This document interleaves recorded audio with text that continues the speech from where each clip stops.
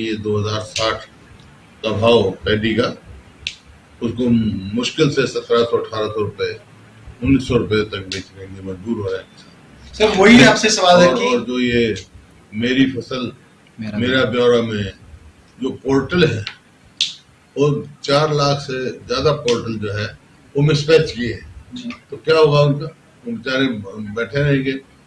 पहले भी मंडियों में अनाज बिकता था अगर हमारी सरकार आएगी तो जो ये इस इस किस्म के पोर्टल हैं जो किसान को भी परेशान करते हैं आड़ती को भी ऐसे पोर्टल से नहीं होगा।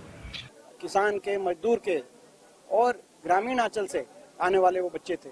तो आज उनको बड़ा भारी सफ़र होना पड़ रहा है इस सरकार की नीतियों की वजह से। तो ये इसे फ़सल खराब हुई। हाँ जी हाँ जी। लोगों ने बीमा करवा रखे है।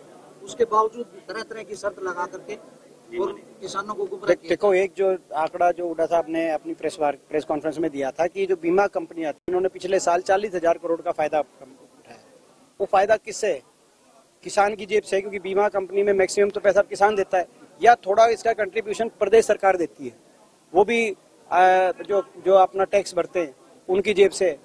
तो ये प्राइवेट कंपनियाँ इतना मुनाफा कमाएँ और किसान को बीमा कराने के बाद भी उसका लाभ पूरा ना मिले। दर दर ठोकरी खाने पड़े। तो ये अन्याय है। ये शुरुआत से हमने कही थी बात।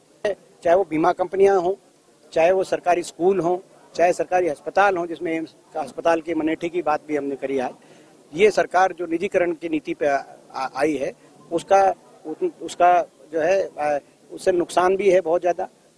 तो ये ये सारी बातें और इसमें बीमा कंपनी में हम, हमने पीछे बात उठाई थी। सरकार इसमें आगे आए।